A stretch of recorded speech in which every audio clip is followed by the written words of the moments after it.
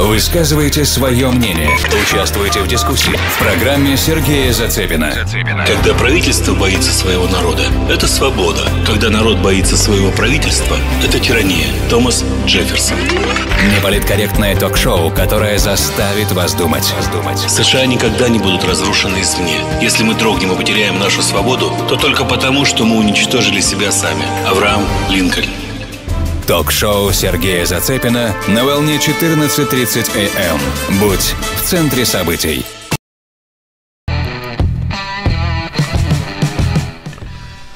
Уважаемые дамы и господа, спасибо за то, что остаетесь с нами.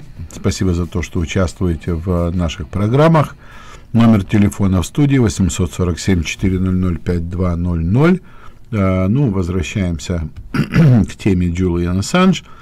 И я вам задам вопрос, который вот почему, то есть я вам дам понять, почему я задал вопрос, что же все-таки послужило то, тому, что его э, выдворили из посольства. Так вот, э, появилась интересная э, мысль, и эта мысль появилась именно после того, как вмешались в эти дела э, представители ACLU, которая, опять же, является ничем иным, как отросток демократической партии, появился вопрос, а, не было ли э, как-то э, это сопряжено с тем, что не оправдались надежды демократов на Маулера, не оправдались надежды демократа на э, расследование, ну и плюс то, что, тот факт, что наш генеральный прокурор вчера, позавчера или вчера, вчера, э, все-таки заявил о том, что э, он считает, что то, что происходило м, в отношении Трампа, это было ничем иным, как шпионаж. Вот все это, не послужило ли это э, тем, что начинается разыгрываться еще одна карта демократов – то есть привоз Джулиана Ассанжа сюда для того, чтобы привязать это, ну, вернее, для того, чтобы привязать его и его компанию к Трампу.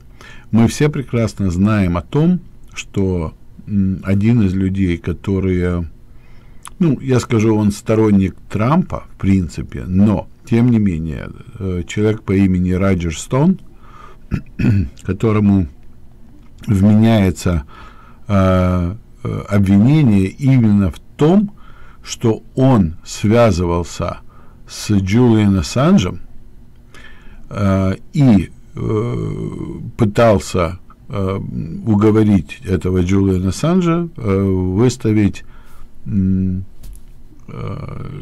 информацию, то есть это мы сейчас говорим опять же о том времени, когда Трамп баллотировался в президенты, что это с подачи Раджера Стоун, Wikileaks или Джулиан Ассанж сделал вброс информации о Хиллари Клинтон. То есть, если вы проследите, опять же, те, которые внимательно следят за всей вот этой катавасией,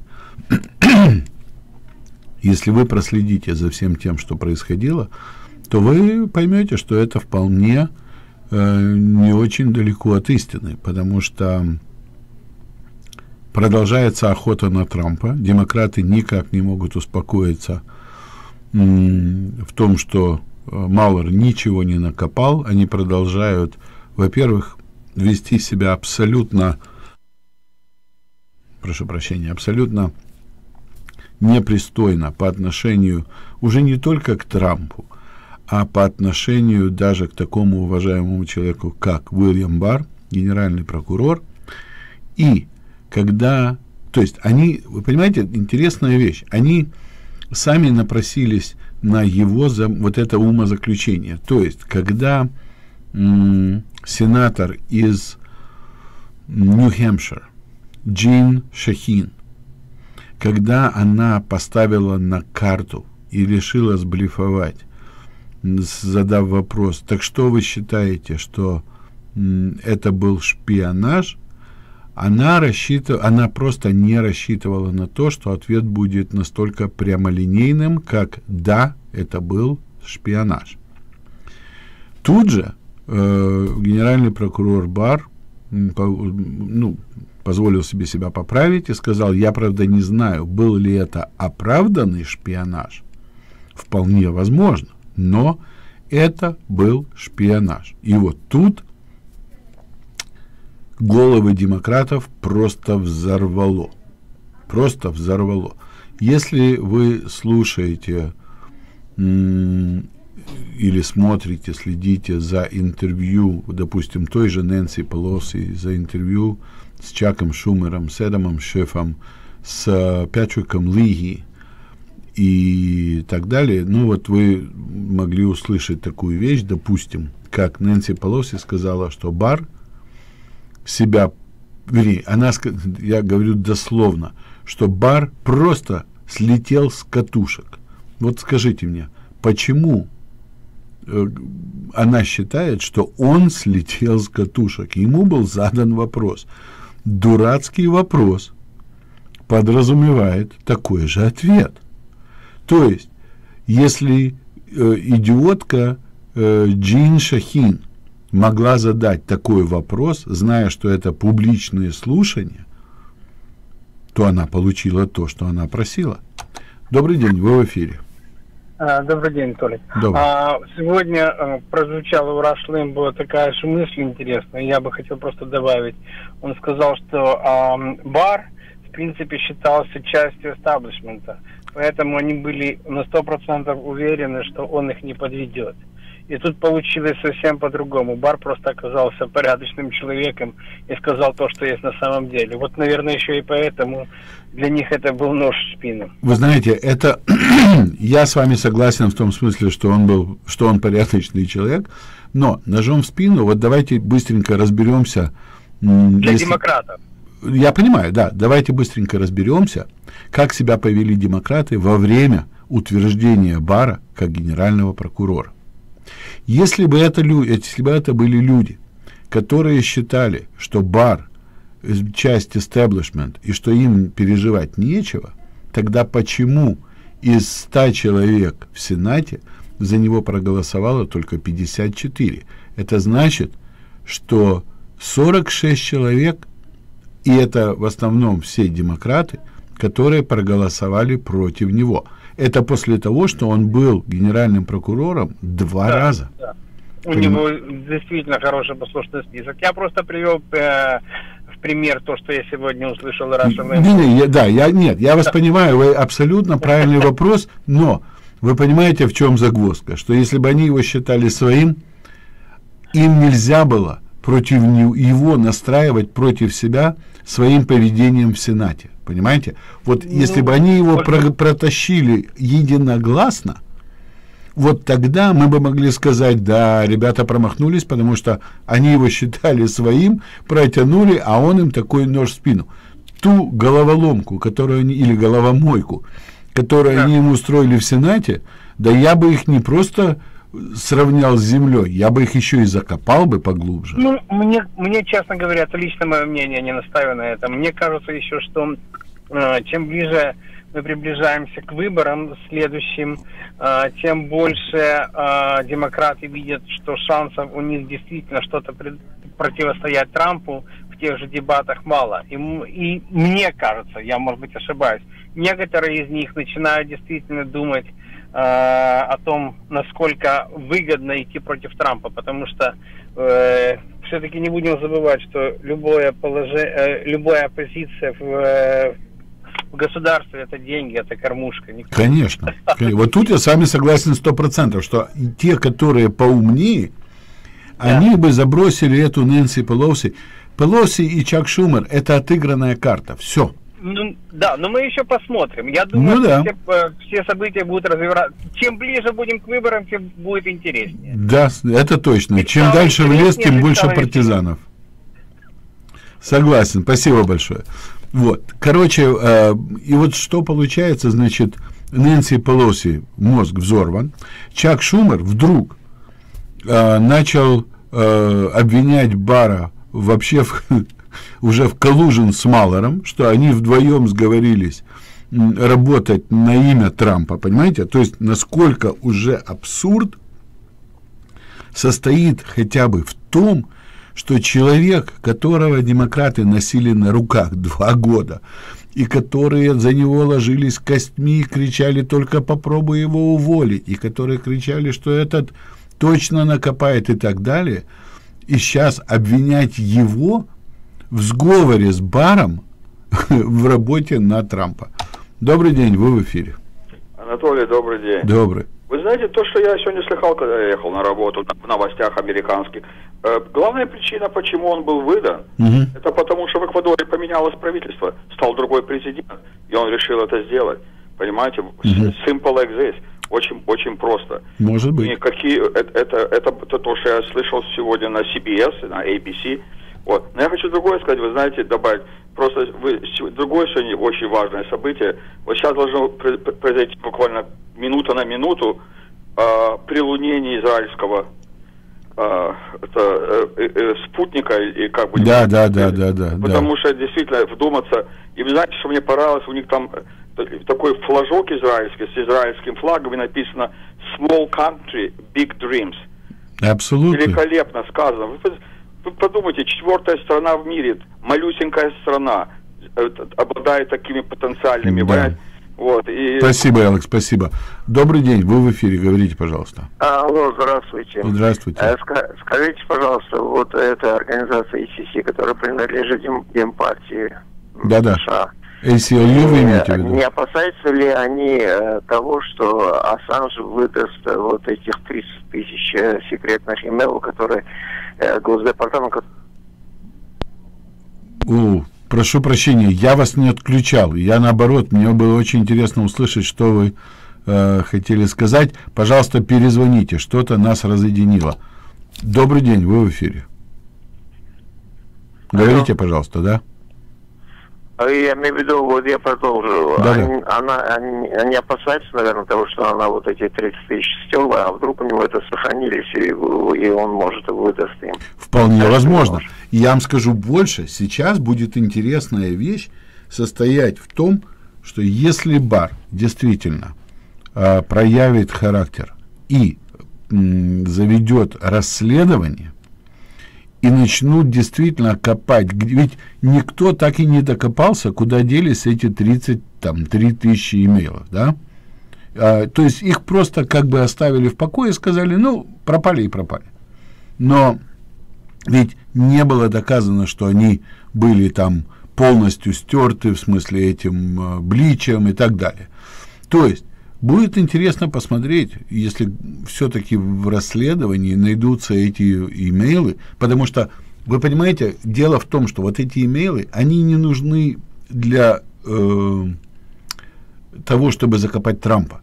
Это имейлы, которые могут вскрыть какие-то дела Хиллари с, во-первых, э, Саудовской Аравией, которые там положили ей сумасшедшую сумму на ее э, фонд и могут вскрыть ситуацию с Россией, потому что дело с ураном ведь не закончилось. То, что там ее муж поехал, получил пол лимона денег за какое-то вообще непонятное ерундовое выступление, понимаете? То есть вот это будет интересно именно проследить, э, кто же все-таки с Россией вступал в сговор. Ну, а там посмотрим. Вот. А теперь у меня остается ровно 10 минут. Дорогие друзья, я не могу себе отказать а, в одном, не, причем не только себе, но и вам. Не могу себе отказать а, в очень смешной ситуации, в которую, ну, вы все знаете, что у нас есть такой радиослушатель Феликс, который вечно пытается кого-то посадить в лужу, пытается задавать вопросы, которые абсолютно не ну, не, вопросы, которые нельзя задавать в виде, а кто вы по национальности, а какая у вас зарплата, а чем занимаются ваши дети и так далее. Ну, есть такой человек, скучно ему. Но он постоянно пытается кого-то посадить в лужу. То меня, то Сергея, то Патлаха, то... В общем, короче, те, которые слышали мою программу а, во вторник, а, те помнят прекрасно, когда позвонил Феликс и сказал мне такую вещь. Он сказал, вы ратуете за Трампа, вы все говорите, что он такой классный бизнесмен, вы все говорите, что он такой великолепный, а Трамп сам лично сказал, что он находится underwater. И вот не может хороший бизнесмен быть, как говорят, ну, underwater мы все понимаем, да, то есть он находится в долгах, как в шелках, и, в общем, бизнес у него никакой. И мы тогда поспорили, некоторые позвонили, сказали, да, ладно, Феликс там ничего не понимает, ничего не разбирается ни в чем и так далее. Но самое интересное, я Феликсу пытался объяснить, что Феликс, человек, который построил такой проект, как Трамп Тауэр, человек, который построил такой проект, как Miss Universe, человек, который построил такой проект, как э, э, гостиницы, то есть казино в, э, в Вегасе и казино в Атлантик-Сити. Не может этот человек быть э, плохим бизнесменом. Ну и плюс к тому, что его еще и выбрали президентом. Это для Феликса вообще был удар. Так вот, дорогие друзья, мне позвонил один мой очень близкий товарищ, и честно, я долго не мог перестать смеяться. Честно, я даже этого не ожидал. Но, тем не менее, а, оказывается, Феликс, который прожил в стране 40 лет, который гордится тем, что он у нас такой крутой американец, что он пожил и там, и там, и там, и вроде у него, и он читает газеты, и он слушает радио, и которому лично Трамп сказал, что его бизнес находится underwater, это тот же человек, который не понял, знаете, есть такая пословица украинская, глухий, як не дочує, так добреше. Ну, вот это оказалось с Феликсом. Почему? Оказывается, Трамп сказал, что он находится, его бизнес находится не underwater, а его бизнес находится under audit, аудит, или э, в проверке. Понимаете? Поэтому, дорогой Феликс, я, конечно, вот честно, не мог себе отказать в этом удовольствии, чтобы хоть как-то дать вам понять, что кроме того, что вы читаете газеты типа Sun Times и Tribune, потратьте немножко денег, почитайте Wall Street Journal, почитайте Daily Mail, почитайте э, какую-то еще литературу, которая вам даст немножко более обширный взгляд на то, что происходит в жизни. Я надеюсь, что это звонит Феликс. Добрый день, вы в эфире. А вот и не дождешься. Это не перец, это Олег Патух. Я понял. Я тебе скажу, я с Феликсом согласен, бизнесмен он никакой, потому что у него бизнес находится он всего лишь в 21 стране. Ну да. И он, он владеет, его корпорация, значит, под себя подгребла и владеет всего лишь 500 компаний. Ну что это за бизнесмен? Объясните. Да не, ну это вообще какая-то мелкая сошка времен да. Аллы Пугачевой, я так и понимаю. вот мне очень нравится аргумент, когда говорят, он же bankruptcy объявлял, банкротство. Да. При этом у людей, у людей, у людей, э, у них понятие о банкротстве, это все равно, что там случилось что-то такое, вот все, он, он потерял все деньги. Да нет, банкротство, это не только потерял все деньги и ушел жить в сарай. Ну, это да. легальный способ. Это инструмент. Сделать просто, э, значит, рестру... Рер... О, господи, не могу. Реструктуризацию бизнеса. Да. При этом, при этом, ни один человек в его компаниях не был выгнан на улицу. Да. Вот Олежка, спасибо. Там звонки говорит. есть, ну, Олежка. я с тобой завтра говорят, поговорю. Ах, он банкрот. Давай, я с тобой завтра поговорю. Добрый день, вы в эфире. Добрый день, говорите, пожалуйста. Алло, здравствуйте. Здравствуйте. Вы, вы знаете, еще до выбора Трампа я слушал такого, у нас в Чикаго есть э, такой э, real estate миллиардер Зелк, кажется, кажется, Зелк его. Да, есть такой, да. И я слушал с ним репортаж о том, и вот спросили его как раз про Трампа, что вы думаете, вы же тоже real estate, и он real estate. И он говорит, о, говорит, у Трампа такой бизнес, какой он он построил такой бизнес, который не всякому по плечу и который очень-очень серьезный, что он очень-очень серьезный бизнесмен. Да. Понимаете, один миллиардер сказал про другого. Конечно. И я не уверен, что этот Зелк демократ. Э, вернее, республиканец. Я думаю, что он демократ, как и все евреи. Я но, тоже думаю, потому что он работает, он иначе ему но, бы не дали но как, ходу. Но как про бизнесмена, как он красиво сказал, я да? не помню дословно что, но он сказал про него очень красиво, понимаете? Спасибо вам огромное. Добрый день, вы в эфире. Добрый день. Я немножко хочу отвлечься от этой темы. Да, пожалуйста. Вот в газете реклама за э, 4-10 апреля появилась статья «Малия, Мишель, Барак и скандал поступления в университет». Угу. Ее написал Джек Кэшел, журнал American Thinker. Так. Вот вы вы не читали еще? Вы знаете, я, я не знаю, я газету, честно, газету рекламу не читаю, но я обязательно попробую накопать что-нибудь по этому поводу. Обязательно. Вот, и это следующая передача подготовки. Обязательно. Спасибо вам огромное за нам, такую наметку. Спасибо. Ну вот, дорогие друзья, поэтому э, я вам просто думал, ну вот, как бы вам всем поднять настроение, потому что, не знаю, как вы все, но мне это подняло настроение. Я вчера не мог перестать смеяться, потому что, не потому что я злорадствовал, нет, не поэтому. Просто э, такие, допускать такие ошибки, перепутать э, underwater с under audit, это, я считаю, ну, и мало этого, не просто это перепутать, а взять и оговорить человека только потому, что ты сам либо недослышал, либо, либо недопонял.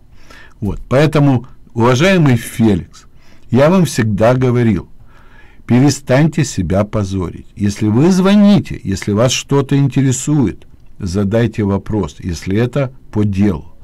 Если же вы хотите кого-то посадить в лужу, пожалуйста, сохраните свое время и мое тоже.